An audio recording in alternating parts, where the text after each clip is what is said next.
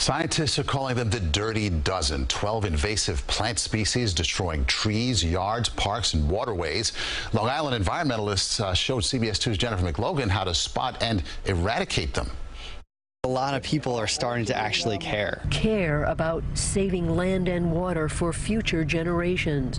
Biologist Frank Piccinini and Long Island Conservancy members are documenting trouble and sounding the alarm. You don't have to learn how to ID identify all the plants. You just have to learn to identify the bad guys, snuff them out where it starts, which is in your yard. The iconic Sands Point Nature Preserve, 216 acres of majestic beauty, is feeling the wrath of invasive plant species. Naturalists are naming the dirty dozen that kill off native plants and wildlife. Long Island is losing a battle it doesn't even know it's fighting. Already silent invaders of ponds, streams, harbors, the sound, and ocean. Weeds like parrot feather and algal blooms that deplete oxygen are continuing to spread.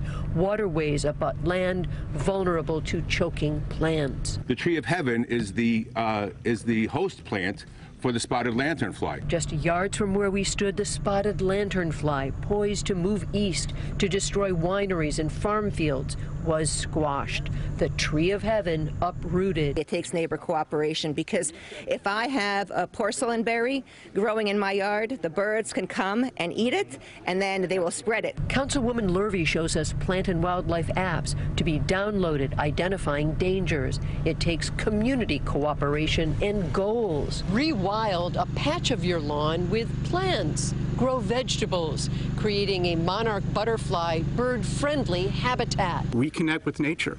It's um, it changed my life. Honestly, I, I can't look at the world the same way. From the Sands Point Preserve on Nassau's Gold Coast, Jennifer McLogan, CBS 2 News.